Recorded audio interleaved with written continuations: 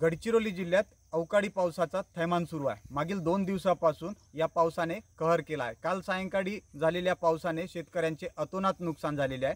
मी सध्या थेट शेतकऱ्यांच्या बांधावर पोहोचलो आहे. आपण शेतकऱ्याकडून काय परिस्थिती आहे किती मोठं नुकसान झाला याबाबत आपण माहिती घेणार आहोत. आपल्यासोबत काही शेतकरी आहे. काय सांगाल? किती नुकसान झालं असं वाटते आणि काय सध्या कोणते पीक काढण्यात येत आहे? गडचिरोली जिल्ह्यामध्ये काल झालेल्या ज्या अवकाळी पावसामुळे बरं जे धान पीक आता सध्या काढणीला कापूससुद्धा हे पीक आलेले आहे. या पिकाचं बऱ्याच प्रमाणात नुकसान झालेलं आहे. परवाच्या दिवशीसुद्धा हलक्या स्वरूपाचा पाऊस झाला. त्यामुळे जास्त नुकसान होईल असं वाटत नव्हतं.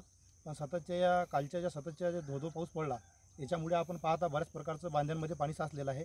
आणि जर आता हे सतत असाच पाऊस सुरू राहिला तर ह्याच्यामध्ये जवळपास पाच ते दहा टक्के लोंबाचे धान हा पूर्ण खाली पडून नुकसान होईल. जो धानाचा पूर्णपणे मार्जिन नफा असतो तोच मातीमध्ये मिसळून जाणार. अशा वातावरणामुळे बऱ्याचशा तुम्ही पिकावर पाहिला असेल तर आभासमय काजळीसुद्धा शेतामध्ये दिसत आहे. किंवा म्हणजे रोगांचा सुद्धा प्रादुर्भाव वाढून शेतकऱ्याचं नुकसान भरपूर होत आहे. आणि सग याच्यामागे सर्वात महत्त्वाचं काम होतं की अवकाळी पावसाच्या मध्ये आभाळ असूनसुद्धा मजुराची कमतरता असल्यामुळे मजूर भेटले यामुळे शेतकरी हे धोका पत्कारत होते आणि मजूर भेटत आहे म्हणून लोक कापणी करत होते.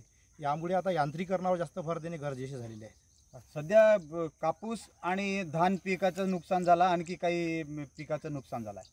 अ, जिल्ह्यात तर मुख्यतः धान आणि कापूसचं सध्या चांगल्या परिस्थितीमध्ये आहे. जर काही दुसरं काही पीक ज्यांनी लागवड केली असेल करडीसारखी पिकं लागवड केलेली असेल आणि तिथे अशा प्रकारचा जर धोधो पाऊस पडलेला असेल रबी पिका रबीमध्ये करडी लागवड केल्यास तर करडीलासुद्धा हा कमी पाणी लागतो. आणि उगवल्यानंतर जर अशा धोधो प्रकारचा पाऊस पडला आणि बांधीमध्ये पाणी साचून राहिलं किंवा शेतामध्ये पाणी साचून राहिलं तर करडीच्या पिकाचं सुद्धा नुकसान नक्की झालेलं असणार. आपल्यासोबत आणखी काही शेतकरी आहे. एकूणच तुमचं शेतात काय नुकसान तुम्हाला झाल्याचं वाटलं? आमच्या शेतात धान सरासरी तीन एकरमध्ये कापून आहे धान. फक्त दानाचं नुकसान होऊन राहिलं ते. आता तुम्ही प्रशासनाकडून काय मागणी करणार?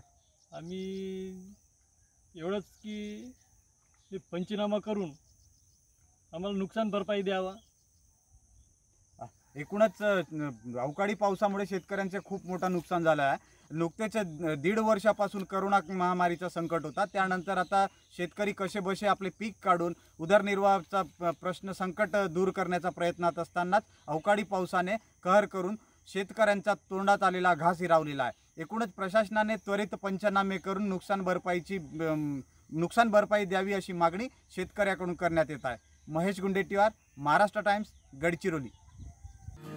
महाराष्ट्र टाइम्सचं यूट्यूब चॅनल सबस्क्राईब करा आणि लेटेस्ट अपडेटसाठी बेल आयकनवर क्लिक करा.